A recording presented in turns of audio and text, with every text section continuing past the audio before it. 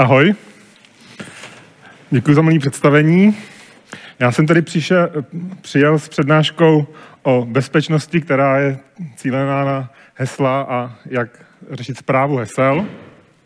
A to z toho důvodu, že poslední dobou se bezpečnost a právě bezpečnost hesel eh, hodně řeší a pořád to ty lidi ještě tak nějak moc na to nedbají.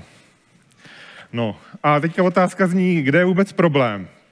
Že jo, vždycky se řekne, že problém je v penězích nebo ve odbornících, ale typicky pokud eh, jde o bezpečnost, tak pořád tam ještě zůstává většinou ten největší problém, ten uživatel. No a eh, pro toho uživatele vlastně, obzvlášť pro toho lajka, eh, je bezpečnost něco, co ho nezajímá, a často ta bezpečnost je dělaná tak, že mu to klade nějaký překážky a je to práce navíc. Což třeba, když si vezmeme, eh, jak je řešený přihlašování na SSH eh, pomocí klíčů, kde každý má svůj klíč, může se takhle přihlásit na ruta, aniž by znal to heslo a v případě, že už se tam přihlašovat jeden z několika lidí eh, nemusí, tak se odebere public klíč, tak Eh, vlastně to je velice pohodlné a takhle si, bych si já tu bezpečnost představoval, aby teda ten uživatel, krom té bezpečnosti, tak s tím přicházelo i nějaký pohodlí, ideálně větší než předtím. A k tomu právě může sloužit dobře nějaký správce SL, který bude i centrálně řešený.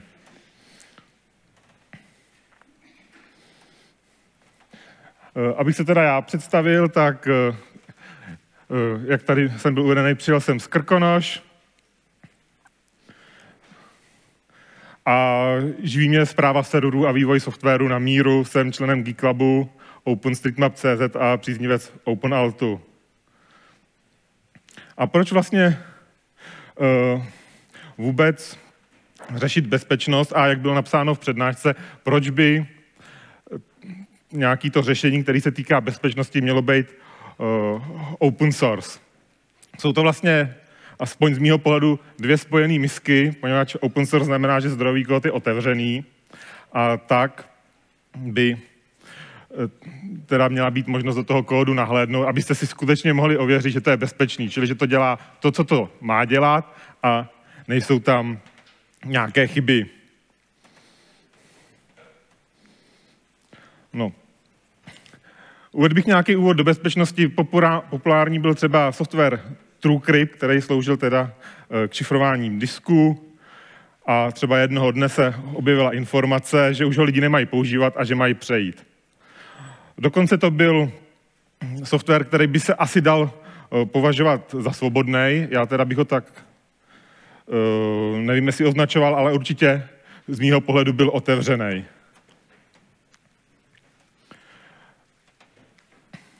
No, existují i jiný nástroje, opět zase na šifrování disků a vlastně vy na tom disku můžete mít ty důvěrné informace, včetně těch hesel, takže tím zajistíte bezpečnost uložení těch hesel nebo jakýchkoliv jiných dat, ale i třeba těch hesel.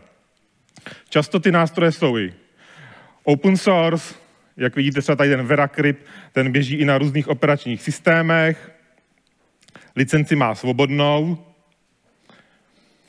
a když tam ty jasla budete mít, tak to máte u sebe na disku, takže vy s tím můžete pracovat, ale nemáte to sdílený v rámci zařízení ani v rámci uživatelů, což by třeba bylo dobrý.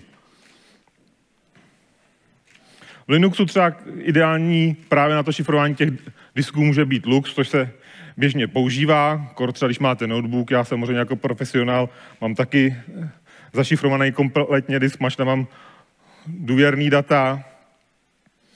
No. Takže bychom chtěli nějak ty hesla spravovat.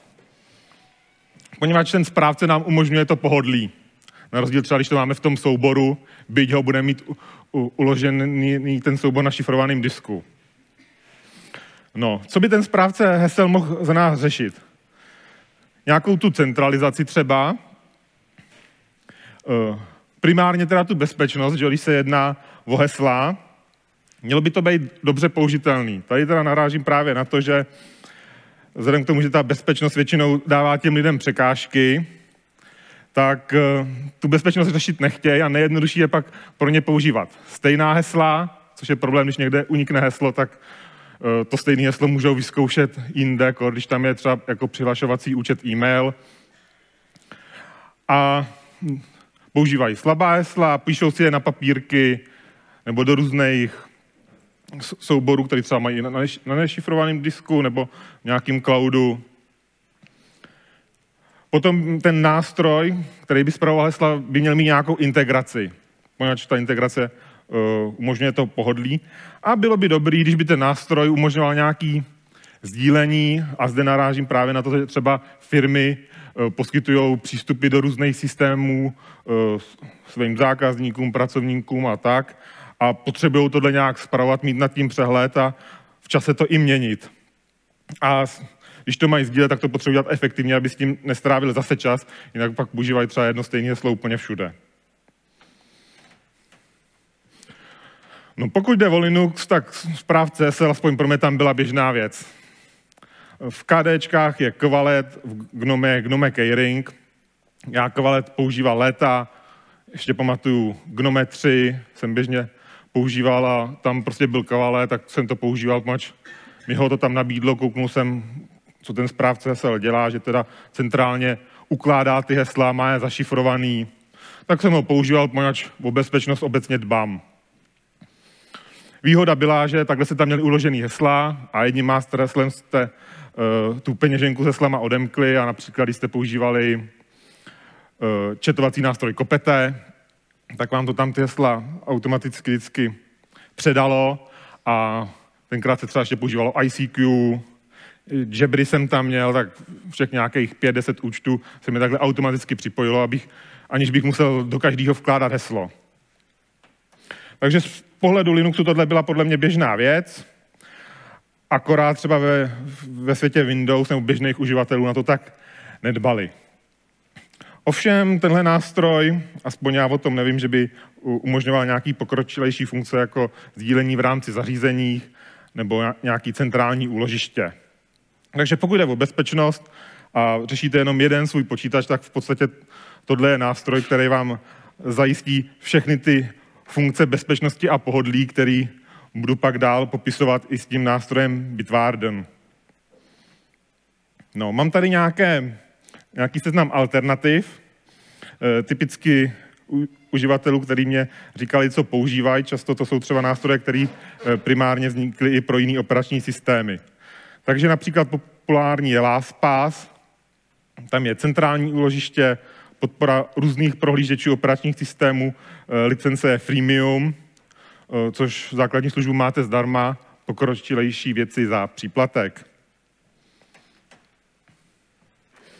NPAS, ten ukládá eh, ty data do šifrovaného souboru, který je v cloudu. Takže dost se to dá přirovnat třeba k tomu kovaletu, akorát to máte v tom cloudu, takže už to jste schopni třeba nějak sdílet.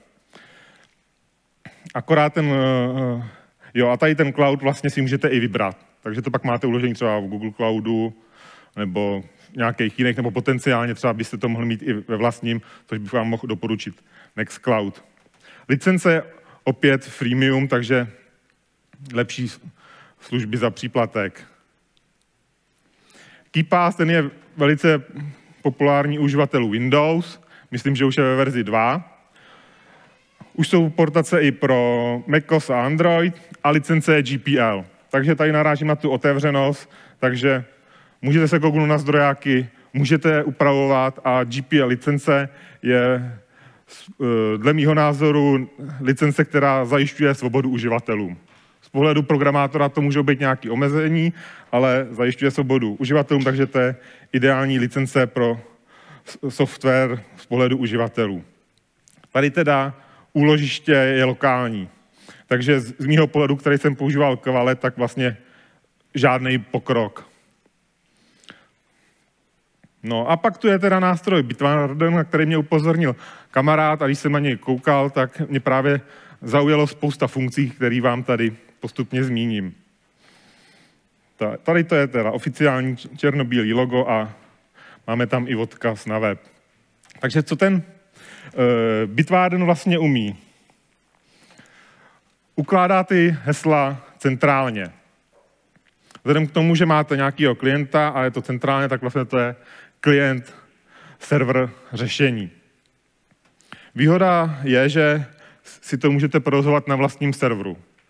Takže když provozovatel třeba skončí, nebo máte z nějakých jiných důvodů, například chcete to mít skutečně pod kontrolou, abyste měli ještě větší důvěru, tak si to můžete provozovat na vlastním serveru. Je to open source, takže kouknete se do zdrojáků, můžete to upravovat. Tady teda konkrétně mám uvedenou licenci, že to je GPL verze 3, mají tam teda dvojí licencování i GPL. No a jakožto správce SL, tak umožňuje i nějaké další funkce, aby to uživateli usnadnilo práci, takže generování hesel. Takže nastavíte si tam třeba dílku hesla, jaký tam mají být znaky, protože některé aplikace třeba vyžadují omezenou dílku a musí tam být určitý speciální znaky. A podle toho vám to automaticky vygeneruje to heslo, aniž byste museli složitě myslet, jestli tam máte přidat ještě eh, písmenko navíc nebo číslo, a jestli to není moc dlouhý eh, nebo moc krátký. A to heslo je náhodný, poněvadž vymyslet něco náhodně jako vlastně dá dost práci, že jo. V počítači, když je nějaký generátor náhodných čísel, tak vlastně to je pseudogenerátor a generovat ty čísla náhodně, tak tam je ideálně nějaký speciální hardware, který skutečně generuje náhodný čísla a navíc třeba ještě, aby to zvládala rychle. Takže krásně si vygenerujete heslo a to, kdybyste měli pak krekovat, tak vzhledem k tomu, že je náhodný, tak ho budete krekovat hodně dlouho. Sdílení v rámci skupin a firmy. To může být zajímavý pro majitele firm, právě jak jsem zmínil, máte spousta uživatelů, ať už zákazníků nebo zaměstnanců a takhle tam to heslo jednou zadáte a všech třeba pět lidí to může sdílet. Když jeden odejde, tak jenom uh, změníte heslo v té aplikaci, kam se člověk přihlašuje a v a tím pádem automaticky, když toho odcházejícího člena odeberete z toho Bitwardenu, tak už heslu přístup nemá a ty zbylí čtyři vlastně mají automaticky přístup k tomu novému heslu, eh, aniž by to nějak museli řešit. Nikdo jim nemusí posílat e-mail a oni si ho číst těch, z těch dalších funkcí, která například eh, podporuje dvoufaktorovou autentifikaci, což opět eh, zvyšuje bezpečnost. A z pohledu nějakého pokročilejšího uživatele, eh, který si chce například efektivnit práci, tak tam jsou i různé konzolové nástroje, takže jste schopni s těma datama, který máte uložený, konkrétně vlastně s těma heslama, tak i můžete nějak zacházet, třeba aktualizovat, exportovat a tak. Ještě teda vlastně, kromě třeba těch hesel, tam můžete mít uložený i nějaký jiný důležitý soubory, poznámky nebo i vyloženě soubory.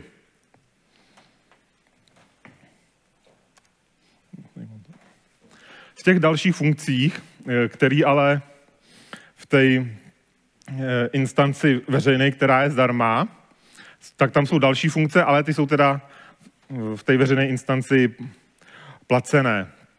Takže například TOTP, což z hlavy si vždycky nepamatuju, co je ta zkratka, ale v podstatě to znamená, že vám to vygeneruje jednorázové heslo, který je závislý na čase.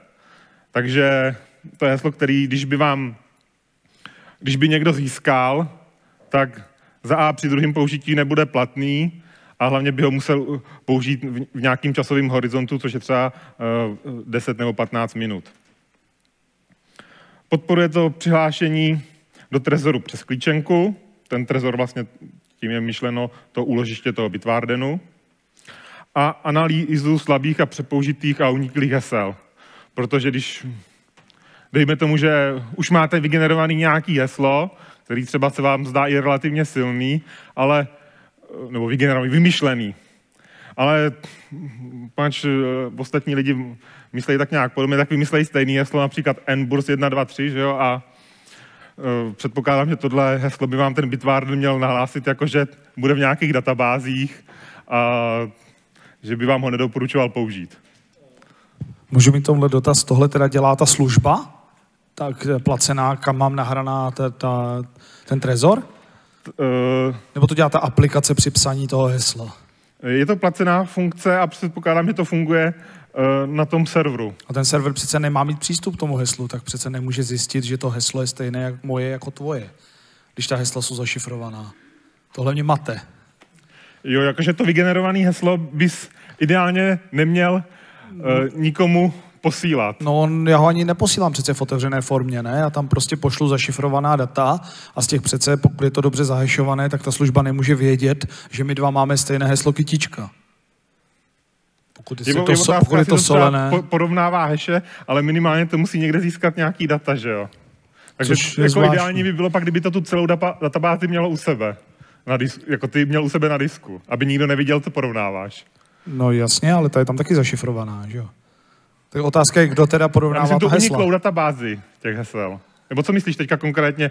Ty slabý hesla nebo porovnání Ano, uniklých? no, ano, to, to, to porovnání uniklých hesel mě zajímá. Slabé heslo rozeznám když při, porov- při vkládání, ale v jaké fázi, jestli tohle víš, je schopno to zjistit, že to heslo je uniklé. Když zadám heslo kytička a teď někde se dozvím, to heslo už uniklo a je v Have I Been Pound, jak, kde, v které fázi Jak se to to... má- Ta, slu- ten server už to přece nemůže udělat, tam už leží jako zašifrovaná databáze. To musí teda dělat ten klient u mě. Eh, To, to dělá ve chvíli toho generování a jak funguje přímo to porovnání, eh, to netuším. Takže to dělá Ale ten, nabízejí to v té placené slu- službě, takže to předpokládám budou řešit na straně toho serveru.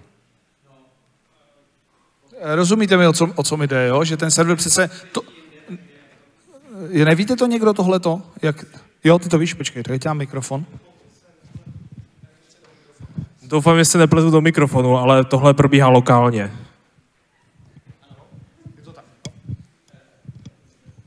Nevím, jak u Bitwardenu, ale třeba u LastPassu, který je taky placený, tak to probíhá opravdu lokálně tak, že ono to člověka vyzve, že má udělat password challenge eh, a v tu chvíli vlastně se ty hesla rozšifrují lokálně a to, co ta placená služba dodá, je, že já si myslím, že se ty hesla si v tu chvíli pošlou, ale oni si je neuložej a porovná je u sebe s databází všeho, co je bylo kdy uniklý. Porovnává je ten server?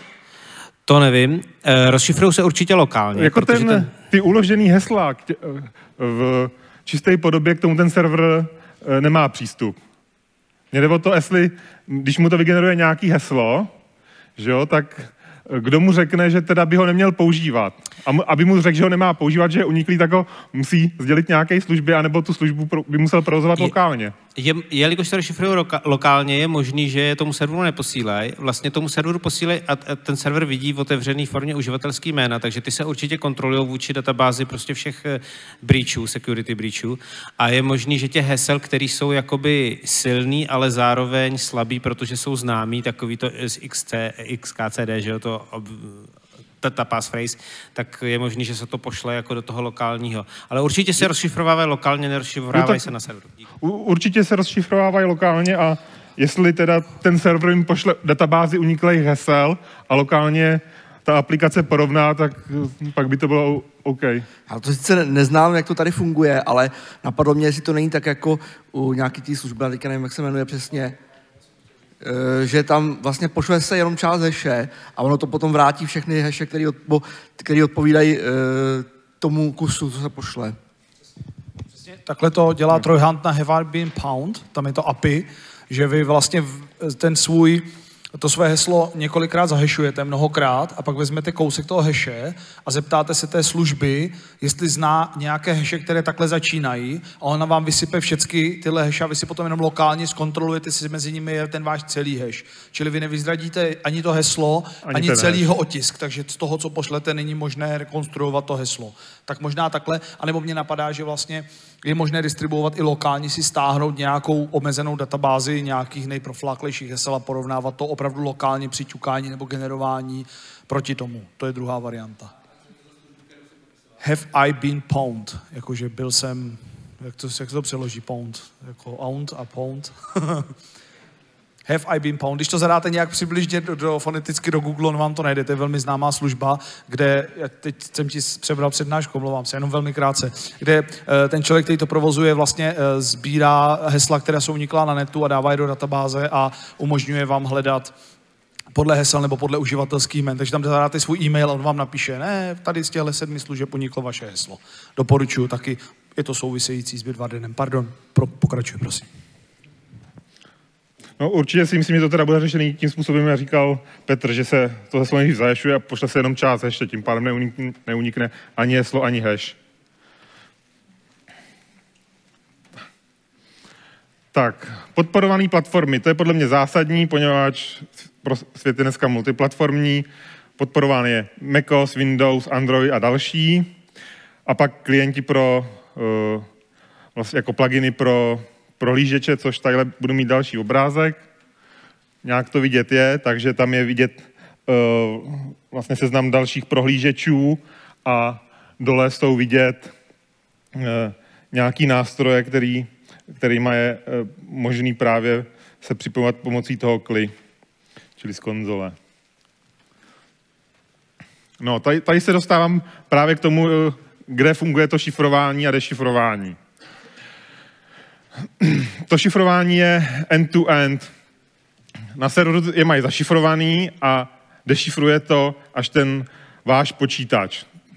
Což vlastně, když ztratíte to master heslo, tak nejste schopni se k těm heslům dostat, poněvadž nikdo jiný k ním ten klíč nemá a,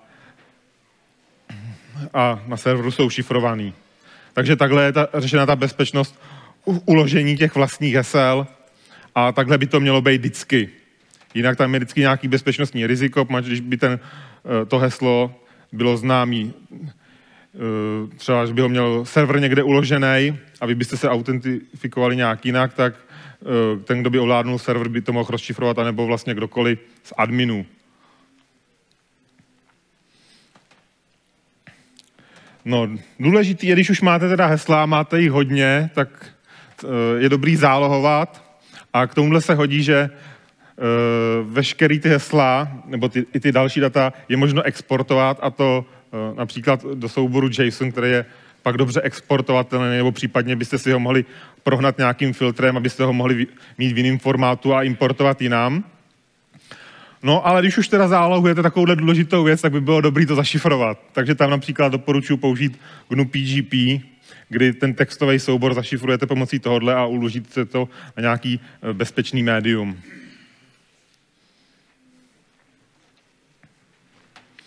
No. A pokud teda to chcete používat, tak v zásadě je to jednoduché. Nemusíte na začátku vůbec někde instalovat vlastní server, k tomu je ta eh, veřejná instance, kde to základní použití je zdarma a bohatě většině uživatelům bude stačit pro mě bylo zajímavé, že to vlastně provozují v cloudu Microsoftu, ale když ty hesla tam jsou zašifrované, tak vlastně mi to může být úplně jedno. A když by byl nějaký problém s provozem, tak to může rozběhnout někdo jiný, nebo si uh, to můžu rozběhnout i sám. Ty instance běžejí v Dockeru a právě díky tomu, že takhle mají popsaný to běhový prostředí, tak vlastně si to můžete rychle zprovoznit i u sebe. No a když ten uživatel teda se rozhodne tohle používat, tak ta vstupní bariéra je absolutně minimální. Stačí se tam zaregistrovat pomocí e-mailu a hesla, kdy následně, když se do toho webového prostředí přihlásíte, tak takhle tam máte nějaké základní možnosti, čili je tam vidět seznam těch hesel, plus nějaké nastavení a vy si to tam můžete spravovat ale pohodlí je ještě lepší a, jak říkám, důležitý, takže integrace do prohlížeče. Typicky ty uživatelé právě mají, uh, dneska se používají webový uh, prohlížeče a webové aplikace. Každá aplikace má nějaký uživatelský účet, uživatelský heslo. Ty lidi si to nechtějí pamatovat, ani uživatelský jména a ty hesla by si pamatovat ani možná neměli, aby je z nich někdo nevybouchal, že jo? Takže když si nainstalujete tu integraci, jak tady například vidíte, eh, když jsem se měl registrovat na InstallFest, tak eh, tady nejdřív zadáte heslo, to master heslo, abyste se dostali k, těm, k té databázi těch hesel, k tomu trezoru. A pak eh, vám ten plugin, podle toho, na který jste stránce, už rovnou vyfiltruje ten založený účet.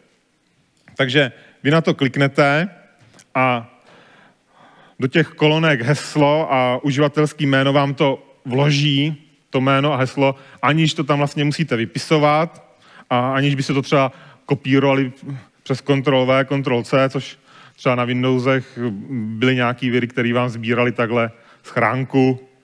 Mám dojem, že to bylo typický u, u těch kryptoměn, kdy lidi neradi kopírovali ten velký hash a někomu to tam vkládalo ty hashe jiný, takže když odeslali eh, ty peníze, eh, tak vlastně to odesílali na jinou adresu. Takže tady jenom kliknete, ono vám to tam vloží, aniž byste něco kopírovali a můžete se pohodlně přihlásit.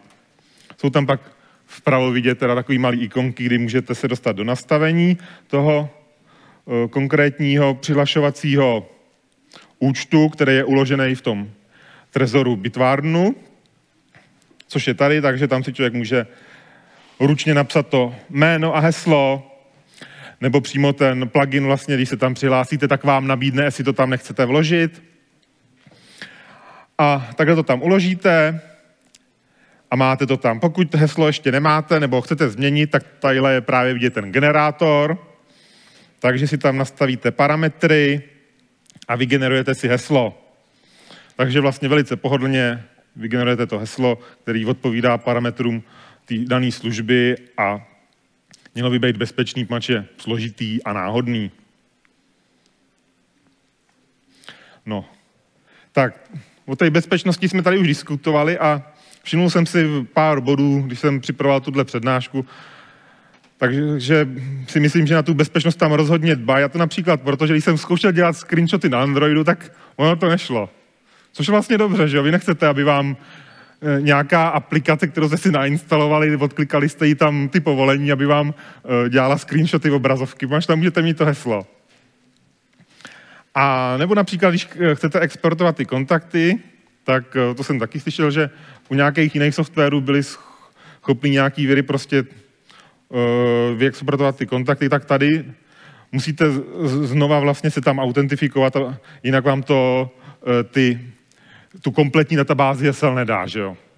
Když chodíte takhle jenom na tom webu, tak jednoduše se dostanete k tomu heslu toho jednoho webu, ale pro export konkrétní databáze bez master hesla vás to nepustí.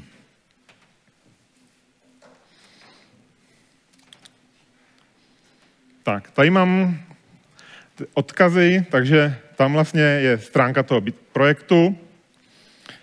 Je tam GitHub, tam každý může nahlídnout do zdrojových kódů, e, případně si to zprovoznit a ten třetí odkaz je totožný. Takže teďka bych asi přišel k dotazům. Tak, já mám dvě rychlé poznámky. Tamhle sedící Michal Halenka nám zjistil, že skutečně je to tak, jak jsme se domnívali, jak jsme si to vynalezli, tak už to Bitwarden vynalezl za nás opravdu to při vytváření toho hesla používá API have I been pound, kam se posílá kousek toho heše a získá se, jestli to heslo, které jsme si právě vymysleli, ne, není v té databázi. Je jich tam asi já nevím, miliarda nebo nějaké miliardy šílené. Je to hned na titulní straně. A druhá věc k těm screenshotům v Androidu. Eh, nedávno se to řešilo u nějaké bankovní aplikace a ti vývojáři říkali, že zákaz toho screenshotování je tam především proto, aby ta aplikace nebyla vidět, její obrazovka při přepínání e, takovým tím čtverečkem předchozích aplikací, aby tam jako nezůstala, protože ono to funguje tak, že to pořídí screenshot, když přepnete do jiné aplikace, takže zatímco ten správce hesel by se odhlásil vnitřně a už by nic neukazoval, ukazoval by zámeček, tak na tom screenshotu by vám tam v historii furt vysela ta poslední stránka třeba s tím heslem. A někdo, kdo by ten mobil získal do ruky, jak by si vlastně nepřepl doopravdy na tu aplikaci, jenom by si prohlídl ten náhled a už by tam to heslo viděl. Tak proto je primární důvod, proč se zakazuje uh, dělání screenshotů v těchto těch bezpečnostních aplikacích. Tak, už jsem viděl nějakou ruku někde. Tam až daleko. Vy mě teda honíte. Já jsem se chtěl zeptat, eh, jestli nějaký eh, dobrý argument, proč použít právě eh, ten, to, tu synchronizaci hesel ve stavinu do toho Bitwardenu, místo toho, aby člověk si třeba ty hesla uložil někam do souboru a použil normální sdílení souborů, ať už přes OnCloud, Google Cloud, jako spoustu všech možných cloudů, jak, tak, jak to dělá KeePass. Jakou, jakou výhodu přináší ten, ten cloud v tom Bitwardenu? a případně se ten to ukládá lokálně, ne jenom. Přesně tak, ale pak si to můžeš synchronizovat sám nějak, AirSyncem, nebo No no, tak prostě, jak je, jako já, má jsem, výhodu já jsem jenom uživatel, já se tím zabývat nechci, mně se to synchronizuje. A jak tam je teda zmínka, je tam uh, i aplikace pro ten Android, takže ty hesla, která, který si vytvořím na počítači, anebo na tom Androidu, tak se mě rovnou automaticky synchronizujou. A takhle přijdu k jinému počítači, tam jsem v životě nebyl přihlášený, nemám tam třeba ani uložený eh, tím pádem hesla ve Firefoxu. A zase znám to master heslo, odemkne mi to databázi, můžu se přihlásit. A pak teda sdílení v rámci týmu, což může být výhodný pro firmy. A není v tom případě teda lepší používat Firefox Logwise, který je taky password manager od Firefoxu, a když už třeba používám Mozilla, tak nemusím věřit další straně, protože tohle je vlastně, když mám správce hesel a používám primárně browseru, tak je podle mě lepší používat správce hesel od toho browseru a minimalizovat ty třetí strany, kterým dávám ty svoje hesla. Třetí strany? Jaký třetí no, strany? Tady mus, v tomhle případě musím věřit Firefoxu a Bitwarnu. Ale když budu používat správce hesel od Mozilla, tak, měři, tak věřím pořád jenom Mozilla. A nemusím jako, už věřit Bitwarnu. Bitwarnu. Jakože by mohla být bezpečnostní chyba ve Firefoxu i v tom pluginu a takhle se vyloučí problém v pluginu. Třeba. Ale jde, jde o to, že tahle primárně ten browser může moje heslo poslat pryč taky a tahle to může poslat browser a Bitwarden. Když používám vlastně jenom jednoho dodavatele, tak věřím jenom té jedné straně a nemusím auditovat kód Bitwarnu, ale vlastně zjišťovat si, jestli měřím ty firmě v pozadí, předávám vlastně hesla na dvě místa. Rozumím. Snižuje se riziko. E, já teda tu službu, co má Firefox, neznám, ale tady je klient e, pro Firefox, e, teda i pro Android, plugin pro Chrome, takže nevím, jestli bych, třeba když bych používal Chrome, nebo nějaký můj kolega prostě bude zásadně používat jiný prohlížeč, tak asi by nemohl používat službu Firefoxu. Tady to je univerza, univerzální nezávislý řešení. Nejsem vázaný.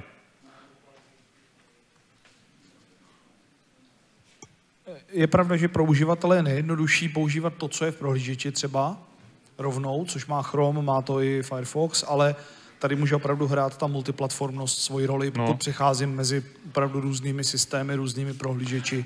Z- tak... Záleží na use caseu, že jo, nevím třeba, jestli ten Firefox má v rám- sdílení v rámci týmu, ten Bitwarden to umožňuje. Já bych měl dotaz ohledně verzí. To, co je stažení na GitHubu a možnost nainstalovat si lokálně, je to, co nabízí jako služby ty profesionální placený stejný, nebo je tam rozdíl ve vlastnostech, funkcích, ne server? Jo, jestli ty rozšířený placený funkce, když byste si zprovoznil vlastní server, jestli tam budou. Do podrobností jsem to neskoumal, třeba s tím ověřováním hesel, jestli vlastně používají nějaký API jiný firmy, která je placená, že jo, tak pak byste si to musel taky zaplatit. Takže to, to doporučuji k nějaké podrobnější vlastní analýze, co to vlastně umožňuje a za jakých podmínek. Ještě nám řekni, jak to teda používáš ty? Používáš tu službu jejich centrální, anebo máš vlastní server? Tak já jsem jenom běžný uživatel, takže první, co jsem udělal, jsem si tam uh, založil ten účet a uh, pokud jsem běžný uživatel, jsem pohodlný a zatím to používám takhle, až budu mít potřebu, tak si to zprovozním u sebe, což Zatím jsem nebyl motivovaný, ale jinak jako většinu služeb si radši provozuju u sebe, už z toho důvodu, že se mi s tím líp pracuje, když řeším nějaký specifika, protože vždycky chci něco extra, mám velkou nohu, takže věci na míru, no. A e, používáš placenou tu službu nebo tu zadarmo? Zatím jsem zkoušel tu zadarmo, tak až budu motivovaný, tak, tak si připlatím. A nebo si to zprovozním u sebe. Dobře. Nějaký další dotaz? Máme čas i na nějakou komplexnější diskuzi. Existuje k tomu Bitwardenu nějaký jako audit třetí strany nebo někoho, jako, kdo by řekl, že je to opravdu bezpečný? Jako analýza třetí strany. Bezpečnostní. Neskoumal jsem.